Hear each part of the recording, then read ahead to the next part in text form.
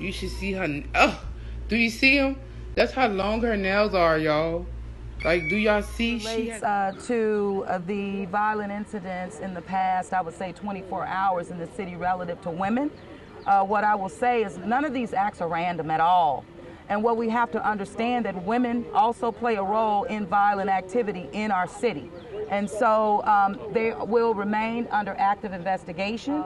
Unfortunately, uh, people are involved in criminal activity in our city, and it plays out on the streets of New Orleans, and it is all genders, right?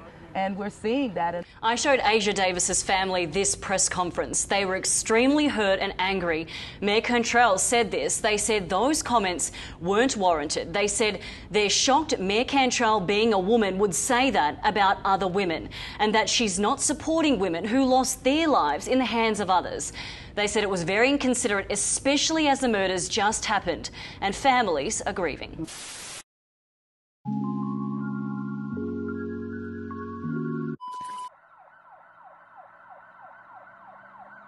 28 year old Asia Davis was a daughter, niece, best friend, and most importantly, a mother to a beautiful five year old daughter who turned six on Mother's Day.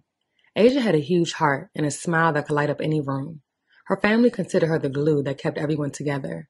She had an overall passion for helping others, which landed her a job as a certified nursing assistant working with senior citizens. Around 9 a.m. on May 11th, the New Orleans Police Department responded to reports of a shooting near the intersection of Mayo Road and South I-10 Service Road, just yards away from busy I-10 in New Orleans' West Lake Forest area. Upon arrival, they would find an unresponsive woman lying in the middle of the street.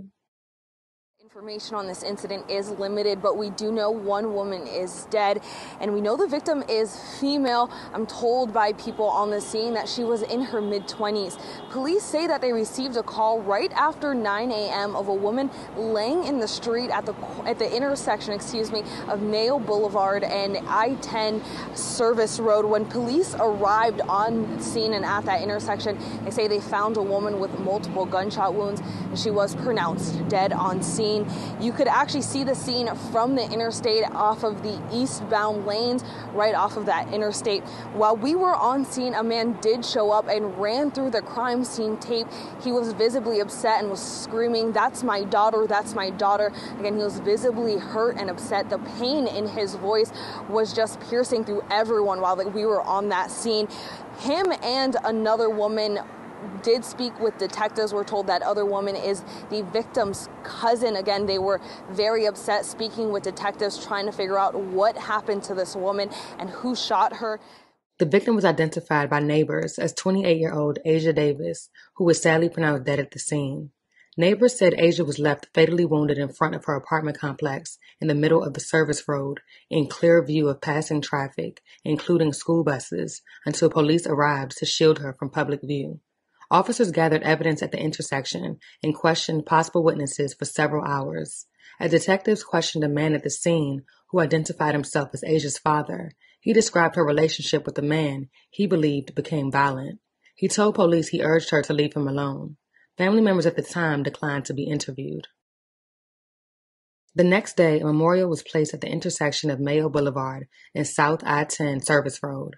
Her family, visibly hurt and shocked, says although they are coming to terms with the unexpected loss of their loved one, they are barely holding on. They want justice for their loved one, not just empty words, but action. Like many families across New Orleans, they're tired of the bloodshed. Less than 24 hours after Asia was killed, two other women were killed in the city. She was the fourth mother to be shot in a targeted killing in the past three weeks, and the tenth woman to be murdered in New Orleans this year. In two of the shootings, small children watched their mother gunned down right in front of them. Now Asia's mother is left to raise her five-year-old daughter, who was born on Mother's Day and will now celebrate her sixth birthday without her. This memorial paying tribute to 28 year old Asia Davis, who was shot and killed at the intersection of Mayo Boulevard and the South I 10 service road. Her family now grieving the loss of a young mother, daughter, sister, cousin, niece, and best friend. Today, Kenya Davis sits here without her only daughter, Asia Davis. We, I mean, we barely holding on. Kenya now left to raise Asia's five year old child, who was born on Mother's Day and will now celebrate her sixth birthday without her mother. My grandbaby is like my best friend. I love her to death. And my daughter knew that. I love my daughter. Asia was shot and killed Thursday morning. That's the sickening part about all of this. She's laid out on the concrete by herself. The family says she had a big heart and never stopped aiming for greatness. She overcame a lot of obstacles in life. She had a, a special patience because she was a home health aide for senior citizens and she loved to work with older people. She was a very beautiful person. She was the life of the party, you know. She uh very respectable. Everybody she meet just loved her. The family laughing and crying together about the glue Asia was to this now broken family. She'll make you mad, but then a couple of minutes later you couldn't do nothing but laugh at her because she was a, a, she, she just was a comedian in her own right. Like many families across New Orleans, they're tired of the bloodshed. Less than 24 hours after Asia was killed, two other women was killed in the, in the city. Something has got to be done. It has to stop. We're just losing all of our children. They want action, not empty words. What are the leaders doing? They need help. They need to understand that you need help. Crime is out of control. Somebody has got to do something. After her untimely murder, Asia's family set up a GoFundMe to help with her unexpected funeral expenses. As of right now, there is still no motive or leads in the case, and law enforcement, along with family members, are encouraging anyone with information to come forward.